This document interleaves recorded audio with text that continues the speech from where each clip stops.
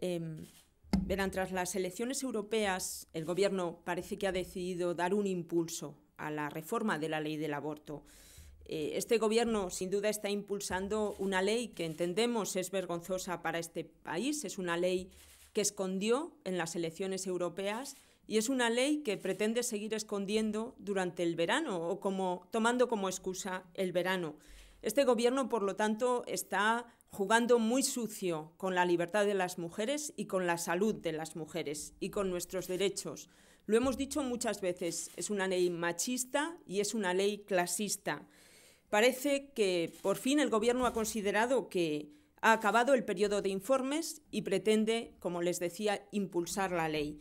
Quiero señalar que la mayoría de los informes, por la información que tenemos de los medios de comunicación, por lo que sabemos, por lo que hemos ido hablando, son informes muy críticos con ese proyecto de ley, con ese anteproyecto, con esa reforma de la ley del aborto, y son informes que en muchos casos lo que están pidiendo es su retirada.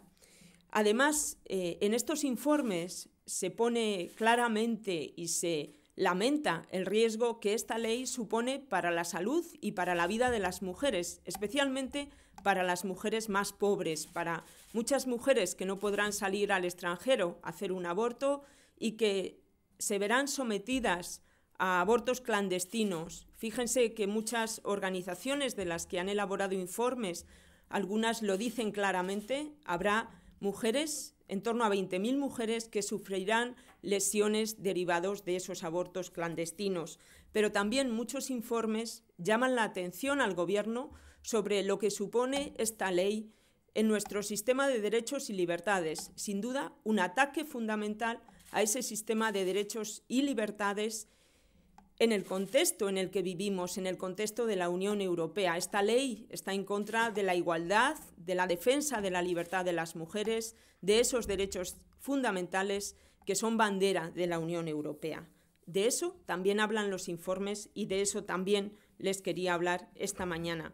También me gustaría hacer una valoración de algunos de, los, de las noticias que hemos visto y de los informes que aparecieron el, el viernes, por ejemplo, del informe del Consejo General del Poder Judicial, del informe del Consejo Fiscal, ambos informes aprobadas, aprobados con una gran conflictividad, con una gran confrontación.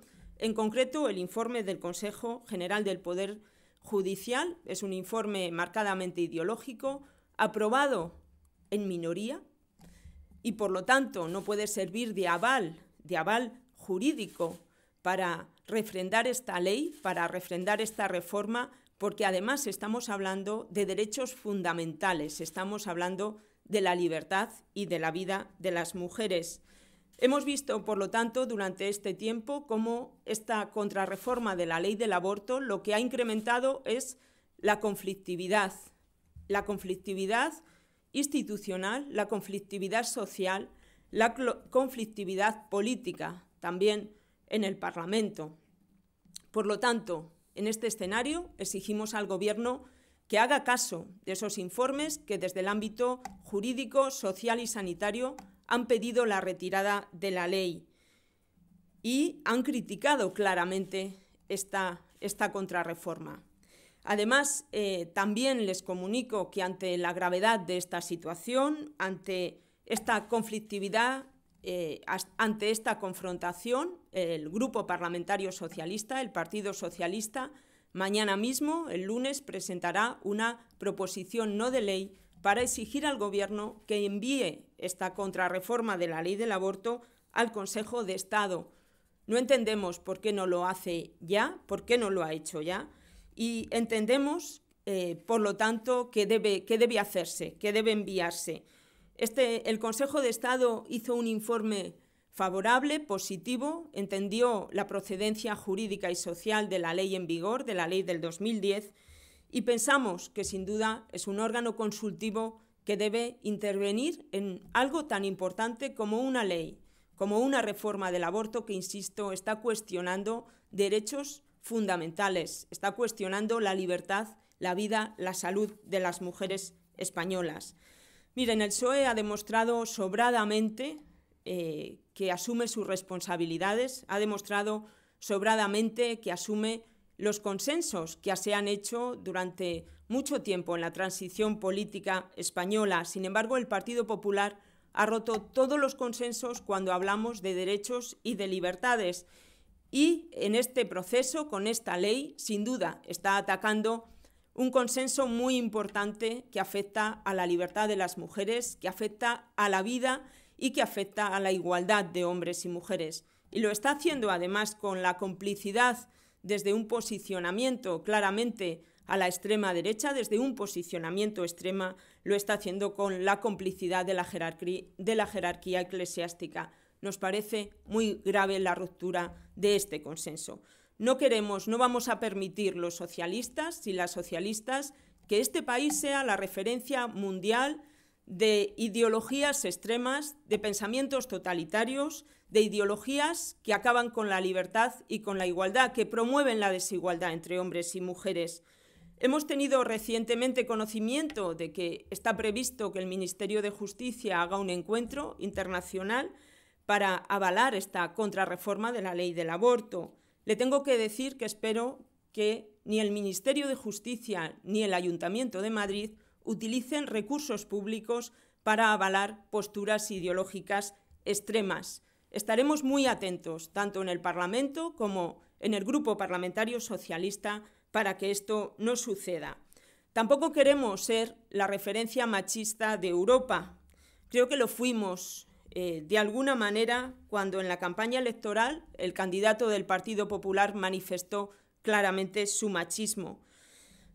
Espero que el Partido Popular no se empeñe en proponer a una persona, a la Comisión Europea, que ha dado muestras de ese machismo y también imagino que no será fácil ese proceso para que sea apoyado, avalado por diputados y diputadas de diferentes grupos políticos.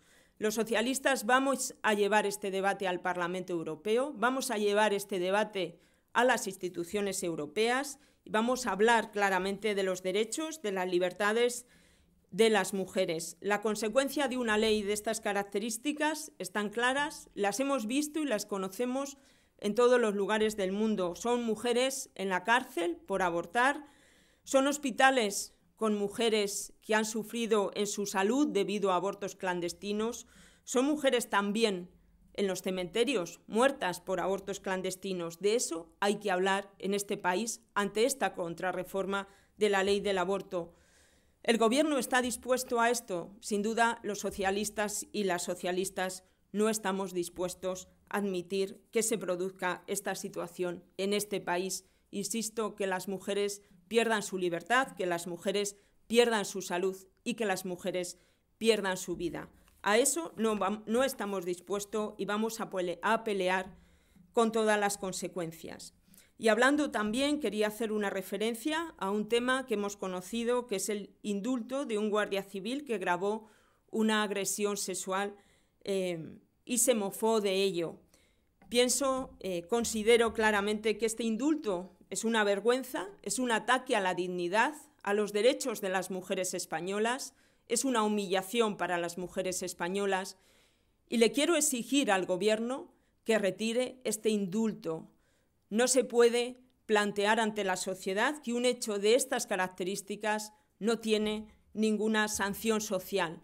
Hay que trasladar un mensaje de que no vamos a permitir más agresiones a las mujeres ni más violencia contra las mujeres.